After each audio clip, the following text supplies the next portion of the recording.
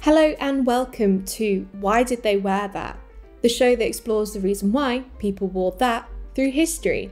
In today's episode, we'll be exploring the history of the beret, from its humble beginning as a hat worn at the foot of the Pyrenees by communities since the Middle Ages, to being associated with the French and Spanish lower classes, to becoming a symbol of artists, military power, and social unity. The beret is more than a stereotype, it is a powerful symbol that can be used by anyone to enact an idea. Let's dive into why people wore the beret. Beret esque felted hats have been worn throughout the ages, with examples being worn by the Macedonians in the 4th century BC, called the Kausia, where after travelling to eastern Persia and the Indus Valley, they brought the cap back with them. They are similar to the modern pakol and sichal found in Afghanistan. Hi, so editing Leah, I just wanted to clarify what I'm trying to say in terms of the Kausia and its links to the beret. So the Kausia is brought back with the Macedonians in Alexander the Great's campaign through Persia and it is picked up somewhere in the Indus Valley and is brought back to Greece and back through to the empire that Alexander has got. And from there, it then travels both down into the west, so down into the Basque region, um, where it then becomes the beret. And then it also goes back into the east, where the modern Pakol is based. So the Kausia is kind of the precursor both to the modern beret and also the modern Pakol, which I think is really cool and doesn't take away from the fact that it is a different hat, but it's kind of like where it began and its origin. So thank you for listening. Enjoy the rest of the video. These caps did have a similar connotation to the beret, with its associations with military power, suggesting that felted caps worn by the military were a simple way to unify a group. We find it tricky to actually identify when the beret became the beret because there's been so many examples of it being worn throughout time. Just as we mentioned, the Kausia, the Tam O'Shanter of Scotland, the Pakol and Chitral from Asia, and the beret from the Pyrenees. We also have examples of a beret, but not a Basque beret, being worn through the 14th to 16th centuries. Even Henry VIII wore a beret.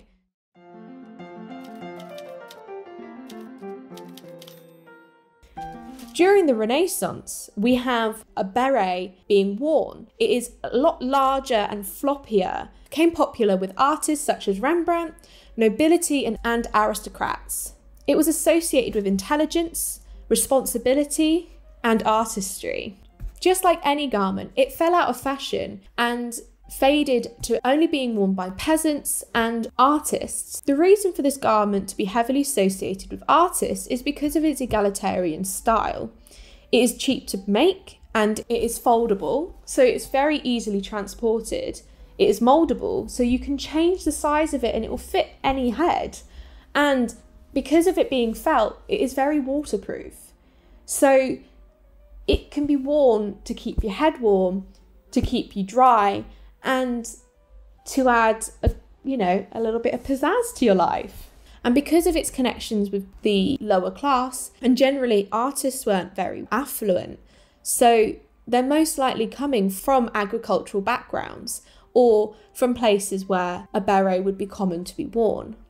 It's also easy to produce because to make felt, all you need is either a woven textile or just the hair itself, which then can be matted into the garment. Let's put this back on. The origin of the French beret, or its more technical term, the Basque beret, since it's the most common type in production now, Uh, it's like the one I'm wearing on my head. It's got the classic stalk. It can be moldable in any shape you want it, and it can come in any colour you want. The definition from the Encyclopedia of Clothing states a beret is a round, flat, visorless cap worn by both sexes over the centuries. Berets are made of circular pieces of knitted, woven, or felted cloth, occasionally velvet, and is drawn underneath by a string, thread band, or leather thong, so as to fit around the head. It goes on to explain the origin of the Basque style, which associates the beret with the Basque people of the Pyrenees Mountains. Thus, why it's called a Basque beret. There is a lot of confusion about the origin of the Basque beret, since there are two communities that claim to be the founders. The first being, of course, the Basque people, who are linked to the shepherds who wore them on the mountains when herding their flocks. And they also have a very strong connection to the Basque beret now, with their traditional dress and a lot of people in the region wearing a Basque beret, especially Basque people. The Basque people are an isolated group whose culture, language, and history is not like any other Indo European community, due to them being locked off by the Pyrenees Mountains. This meant that they developed separately from their neighbouring countries, France and Spain. So the hypothesis is that they developed the beret in the mountains whilst tending their sheep, as felt is a simple and basic material that can be created with just a bit of wool. It is knitted or matted straight away into a disc, which then can be moulded into a beret. The other people that claim to be the founders are the Béarnese people, who are from the same area of France but are not Basque. The reason it wasn't called a Béarnese beret is because of Napoleon III, who called the beret a Basque beret when he came to visit the area. Obviously, being the Emperor of France, nobody really wanted to tell him that he was wrong. So, from that, it meant that the Basque beret became the term used because nobody corrected anyone. I'm not sure which one is correct, but it's really important to note that the Basque beret is an integral part of the Basque people's culture now. And even if they're not the original producers, they are still an important part of the Basque beret.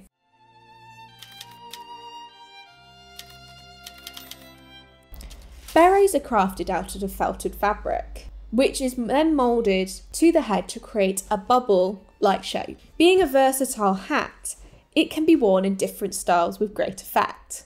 For example, you can wear it over one ear, you can wear it at the front like that, you can wear it in a halo style at the back, or you can just kind of wear it atop the head. It's so versatile as a hat because it's so mouldable. Felt is considered one of the oldest fabrics that humans have utilised, other than hides and furs, with evidence of it being used in 6000 BCE, so roughly 8000 years ago. Felt is traditionally made out of animal hair because, at a microscopic level, animal hair has a scaly surface when moistened, it causes the fibres and the scales to stick up, which have little hooks on them, which then mean when hair is pressured and put together, it will then lock into one mass that becomes felt. There are two types of felt. The first being fibre felts, made directly from animal fibre. The second being woven felt, which takes the fibre, either animal or man made, makes them into a yarn or string. It is then woven into the product, which is then mattified and felted. The reason that we have these two types is because animal hair is able to, to create those links firsthand, whereas synthetic fibres aren't able to mattify without being woven. So the weaving helps encourage the felting process. Both methods produce an indistinguishable product from one another, so neither is better than the other. In construction, the Basque beret is woven and is primarily made from wool. but it can sometimes be made out of other materials. The commercial production of the Basque beret began during the 17th century in Oloron-Sainte-Marie, which is located at the foot of the Pyrenees Mountains. By the 19th century, industrial production was introduced. Beatex Laulhère claimed to be the first factory having started production in 1810. Over 20 factories were producing millions of berets for the international market by 1928. The lengthy but simple process of constructing a Basque beret first starts with the fibre being knitted into a galette or a pancake from woolen yarn. Nowadays, this is done by machine. The loosely woven pancake is then washed in cold water and detergents which felts it, causing the cap to shrink and become soft. The freshly felted galette is then dyed to the desired shades and goes through quality checks for colour quality. Through the use of metal forms, the beret is formed into its classic beret shape. Originally, this was done on the knee, then on a wooden form, and then now on a metal form. The beret will rest on this form until it's able to retain its shape. The beret will go through a scratching machine which will remove any desired plant material or fibre. A cardboard template is then inserted into the hat to maintain its shape, whilst the cap is sheared around the stalk. The stalk is traditionally where the beret was first started when knitted by hand. Think of a knitting project and the first few stitches being there as an anchor point. Now the stalk is left as a homage to the older method of construction. A lining is heat moulded to fit inside the shape of the beret, which is then stitched down. The beret is stretched to the required hat size, where a leather band is added to maintain the shape and to keep its size. This is also where any details can be added to the cap. After this, it is packaged and is ready to be sold and worn by a fashionista a soldier, or an intellectual.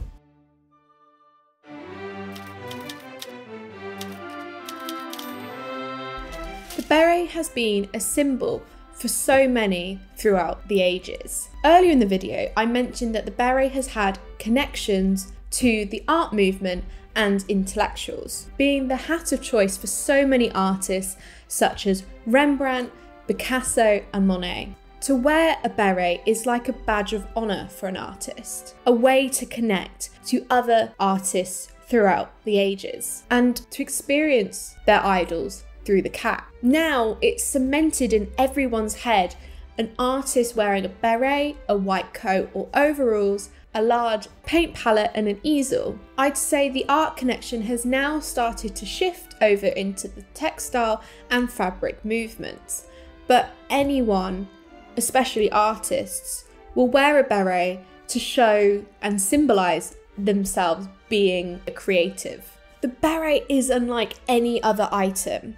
It has been a part of our wardrobes for centuries. It is a staple now. Its availability and its ability to be produced cheaply has ensured it was always accessed and has kept the hat going and keep its longevity. Its moldability, quite literally, ensured that it stayed a part of our wardrobes. By the 20th century, it has become a staple within women's fashion. First as a sports hat worn in the 1920s, as it was so easily able to emulate the cloche style, then carried forward into the 1930s and 1940s. Coco Chanel is first attributed to having the beret being worn down the catwalk. Especially during World War II, wearing a beret was a sign of military unity and support of the war, and ensuring that everyone felt a part of the war effort. As we make it to the 1950s, it is starting to be elevated in high fashion and it's been experimented with, with new fabrics, new shapes being used and utilised. It is becoming reinvented. By the 1960s, it starts being claimed by revolutionaries such as the Black Panthers, the IRA, and the Cuban Revolution. Even though these groups claimed it, people that didn't associate these groups still wore it for fashion, for practicality, and for comfort. Even now, in modern contemporary times, it is still being worn and is still loved by many. It is a timeless hat that gives the energy that you have something to say. It puts a message on your head. And I think that's really powerful. The military influence. Examples of early military use, such as the Scottish blue bonnets through the 16th and 17th century, and the sky blue bonnets of the Volontaires Cantabres, also known as the Royal Cantabres Infantry in 1740s to the 1760s, who were from the Basque regions. Then the red beret of the Carlist rebels during the 1830s at the First Carlist War in Spain. By this 19th century, there is a beret takeover. In 1888, French Chasseurs Alpins were the first permanent military group to assign the beret to their formal standard headdress. Then in 1924, royal approval was granted to the Royal Tank Corps to wear a black beret as part of their service dress. By the beginning of the Second World War, the beret had been adopted by several mechanised unit groups since the beret was practical to getting in and out of unit vehicles without it falling off. In 1942, the maroon beret was adopted to the 1st Airborne Division, which led to international association of the maroon beret with the airborne divisions across the world. Later in 1942, the commandos adopted the green beret as part of their uniform. Later in 1951, we have the adoption of the Green Beret by the US Special Forces. Now in 2023, the beret is literally adopted by almost every nation's military force. As a cheap product to produce and its portability, it's no surprise that this has happened. Looking outside the military, the beret is worn by many organised uniform groups such as the police, the Scouts, and the Brownies. The beret has become a symbol of both unity and of power, which is where we discuss its uses outside of, of the military and look at how the beret has been taken by different groups to be used as a unified message of revolution.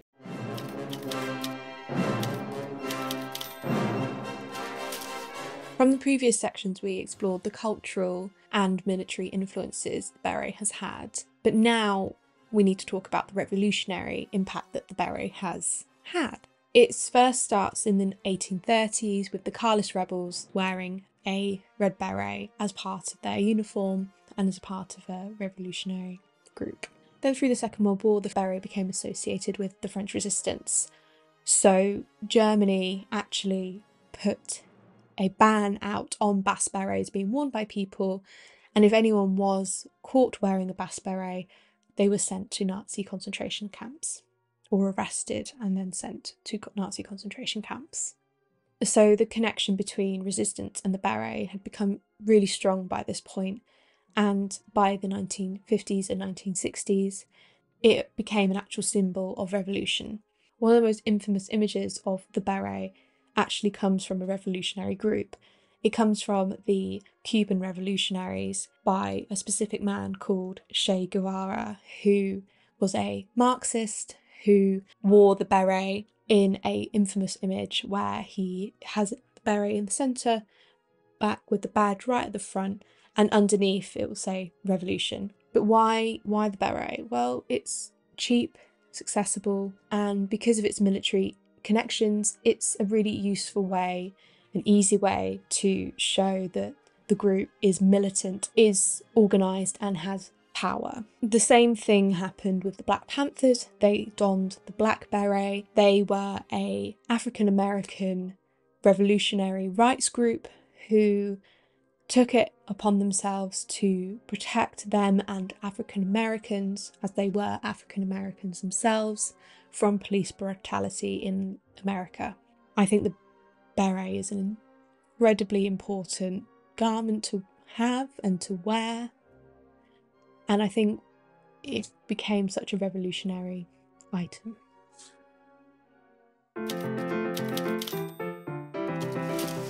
As you can see, the beret has been on a long journey with us, taking on the many connotations we have assigned to it. It is moldable, flexible, and can impart any message we want it to. It has become a part of our military identity, providing hundreds of military forces a cap that can be both practical and egalitarian. As a fashion statement, it nods to our thousands of years of history, and sometimes something is just universal and will forever be timeless. The beret is one of them. Thank you for watching Why Did They Wear That? And coming on the journey of the beret.